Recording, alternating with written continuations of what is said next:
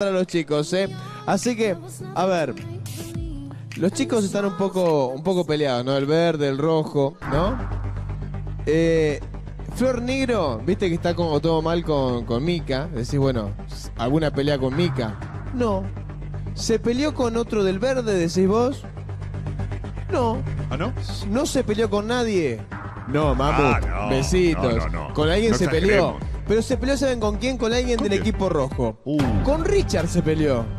Richard discutiendo con Flor. Chicos, vamos a ver de qué se trata todo esto. Dale. Dale. Vamos a ver. A ver.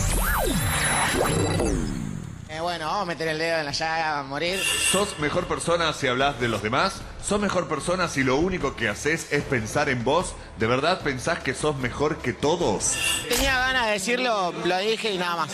No hables de cosas que no sabes, de personas que no conoces. El karma existe y todo vuelve. Y si lo haces, podés pedir disculpas. Dale. No es la gente, es el señor. Que, es claro, el señor el es que el tuiteó eso. Todos pensamos que era para Mika en realidad al principio porque se quejaba mucho de eh, como que Mika lo quería ensuciar y qué sé yo, con los juegos. Ah, por una participante que no pienso nombrar, que no voy a nombrar más porque es... al- es- Si Richard mandó esos tweets y no eran para mí, yo tampoco me hice cargo, ¿eh? pero... Flor, Lo toman ustedes. Los tweets que dije, sí, como lo dije en el programa, fueron para Flor. Eh, me parece que Richard ahora al estar en el rojo le tiene miedo a Mika. Miedo a Mika. Si no puedes con tu enemigo, únete. Y quizás piensas, sí, qué difícil convivir entonces con un equipo de Mica Capitana, porque realmente veo que se llevan pésimo. Me parece que me tiene un poquito de miedo. no le temo nada. O sea, creo que lo único que le tengo miedo son las abejas. Después, eh, a nadie más.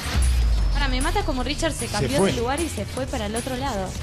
Eh, bueno, vamos a meter el dedo en la llaga a morir. Si él tiene un problema conmigo o, o quiere buscar cámara, se nota que la única forma que tiene de hacerlo es agarrándose de mí. Me molestan actitudes que tuvo conmigo, actitudes que fueron pasadas. Me parece que desmerecer su esfuerzo y todo, metiéndose en puterío con el tema de los tweets y todo, no lo favorece.